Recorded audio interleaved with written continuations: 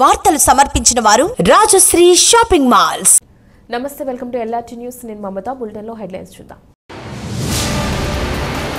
ఖాళీగా ఉన్న ఉద్యోగాలకు నోటిఫికేషన్ ఇవ్వాలని డిమాండ్ చేస్తూ భారతీయ జనతా యువమోర్చా ఆధ్వర్యంలో కొనకరోపేట మండల కేంద్రంలో తెలంగాణ రాష్ట్ర ప్రభుత్వం దిష్టిబొమ్మను దగ్ధం చేశారు.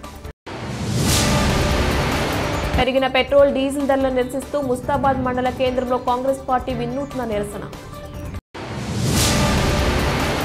రాజన్న సిరిసిల్ల జిల్లా కాంగ్రెస్ ఇన్ఛార్జ్ కేకే మహేందర్ రెడ్డి జన్మదినోత్సవ సందర్భంగా కేకే యువసేన ఆధ్వర్యంలో సంబరాలు.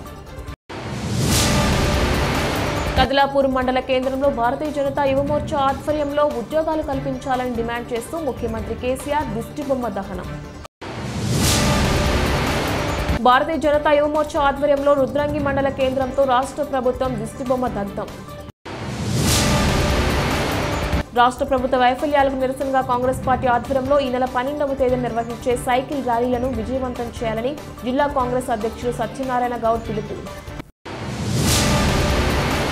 వీర్నపల్లి మండల కేంద్రంలో పోలీస్ కళాజాత బృందం ఆధ్వర్యంలో ప్రజలకు అవగాహన కార్యక్రమం.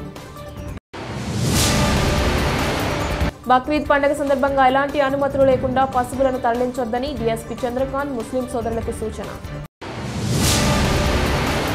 ముఖ్యమంత్రి కేసీఆర్ చేపట్టిన పల్లె ప్రగతి కార్యక్రమం వల్లనే పల్లెలు పరిశుభ్రంగా మారాయని సిరిసిల్ల జడ్పీ చైర్మన్ అరుణ రాఘవరెడ్డి పేర్కొన్నారు.